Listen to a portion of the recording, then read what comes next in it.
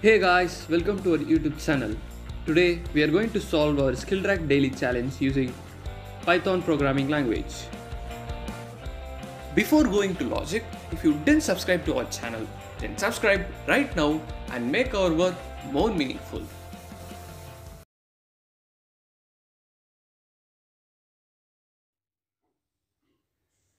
First, we'll understand our question. The program has to accept the integer n and the yen purchases that is the customer name and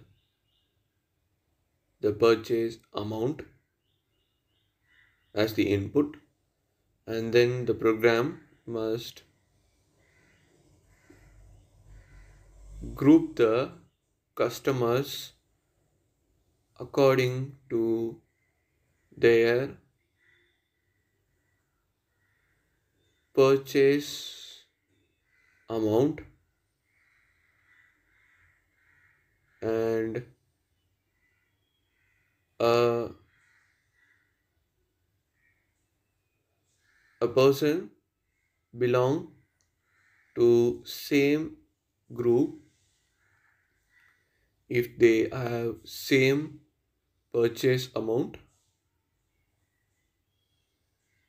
and the program must the group must be printed in descending order based on the purchase amount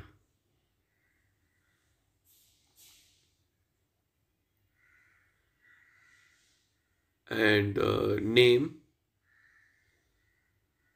in each group should be printed in sorted order. So first we are going to accept the integer n and the n purchases that is the customer name and the purchase amount and the programmers group the customers according to their purchase amount. A person belong to same group if they have same purchase amount and the, the group must be printed in descending order based on the purchase amount and the names in each group should be printed in sorted order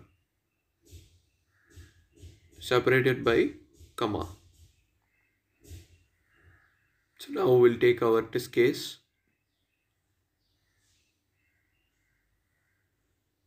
So in this test case we have five purchases. So the names and the purchase amount are given. So let us order them in descending order. So this is it. And now for 1600 we have the name as MNO and then for 1500 we have three names. So we'll start from the first that is GHI and then ABC and then JKL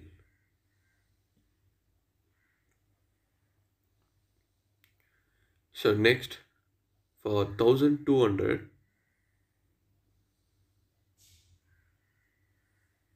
so this must be the order in alphabetical order. So this is it. And then for 1200 it will be DEF so finally this will be our output.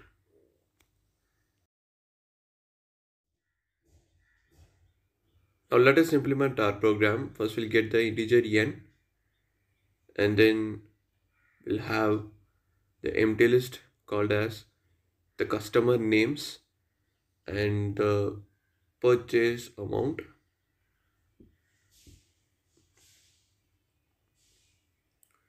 So after this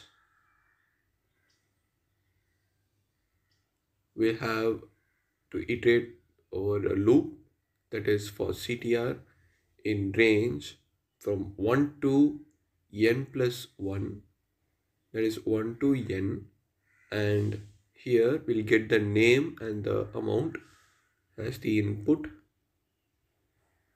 So after getting the name and amount the customer names will be appended with the name and purchase amount will be appended with the amount. So after this we'll iterate over another loop that is for amount in sorted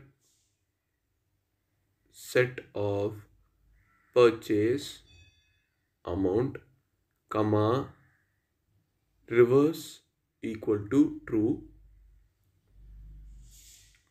So here the purchase amount must be sorted in the descending order. So we use this. And then the name list will be equal to an empty list. So after this we have the first we'll have a loop that is for index in range n. If the amount is equal to equal to the purchase amount of index means then the name list will be appended with the customer names of index and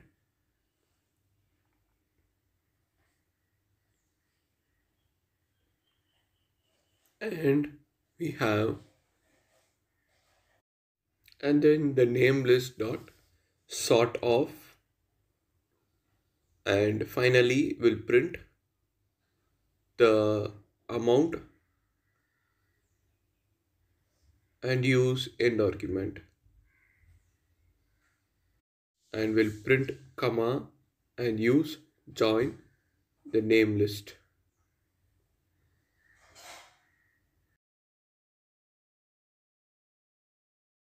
So now let us implement our program with our first test case. Yes, we have got the correct output. Now we'll pass our another test case.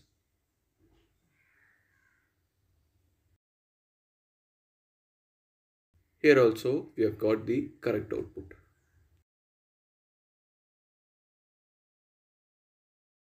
Our program has passed all our given test cases successfully.